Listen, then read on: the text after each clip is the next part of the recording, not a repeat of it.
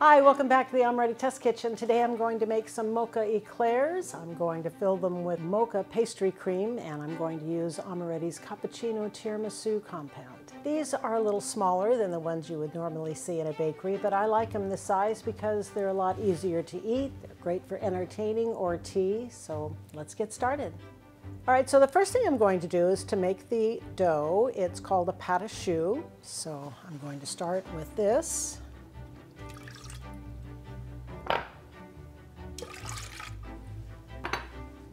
This butter in.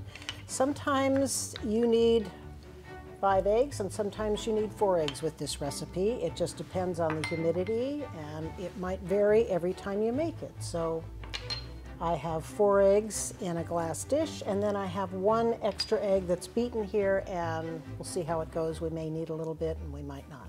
All right, so let's boil this.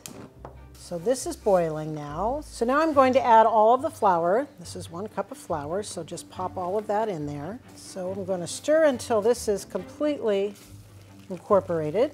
So this looks to be pretty good. Now I'm going to put it back on the heat, but it's going to be a very low heat. It's just going to be for about a minute or two. All right, so this is done, and it's nice dough that has come together. And now we're going to beat it with the eggs. So let's get this in the mixing bowl. Okay. So I'm just going to add the eggs one at a time. Okay, so here are a couple of ways you can tell whether you need to add more egg. So you can draw a line, if you want, right through the dough.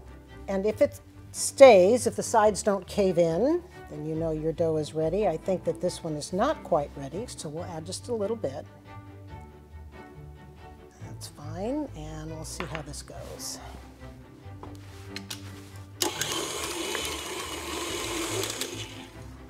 So let me look at this, and this looks great. So I don't think we need to add any more egg. We'll scrape this off and I'll put it in a piping bag and we can pipe it onto our sheet pan. So I'm going to pipe these and it's best if you can keep your tip a little bit above the paper instead of holding it onto it and dragging it. You'll have a much better shape and you have much more control. The idea is not to have a tail at the end of your eclairs, but if you do, I'm going to show you how to fix them. You simply put a little tiny bit of water on your hand and dab the end and smooth it. All right, these are ready to be baked. I'm going to bake them in a 450 oven for eight minutes, and then I'll transfer it to a 400 oven for 15 minutes.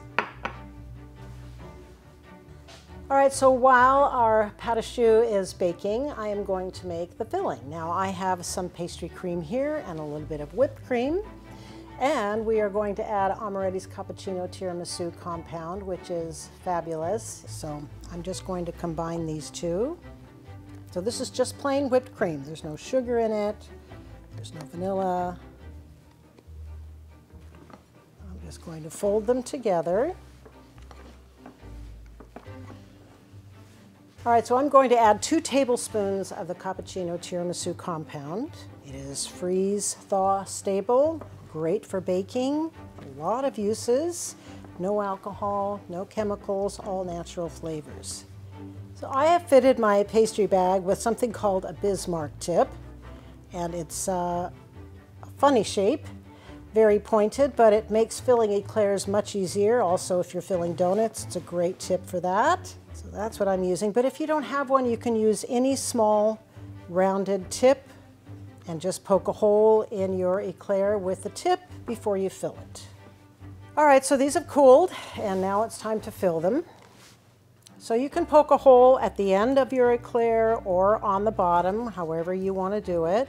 Uh, I like doing it from the bottom because then it doesn't show quite as much. All right, so now I'm going to dip these beautiful eclairs in our espresso mocha ganache, which is wonderful and I have just put a little bit in the microwave. All right, I'm going to stripe these with a little bit of white chocolate that I have in a bag. Thanks for watching. I hope you enjoyed the video. If you decide to make this recipe, please take a picture and tag us on social media. You can reach out to us on Instagram, Facebook, and Twitter at Amoretti. Subscribe to our channel and hit the notification bell so you don't miss out on any recipes or discounts or giveaways. See you next time.